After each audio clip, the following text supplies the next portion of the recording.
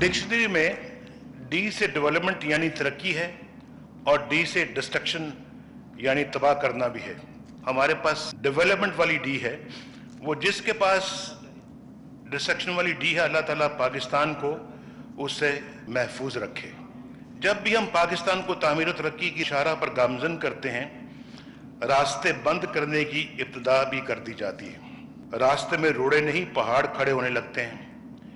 हम मोटरवेज तामीर करते हैं कि सामान से लदे ट्रकों और मुसाफरों से भरी गाड़ियों के टायर उन पर तेज रफ्तारी से दौड़ें, लेकिन वहाँ तो दौड़ने वाले टायरों को आग लगाई जा रही है।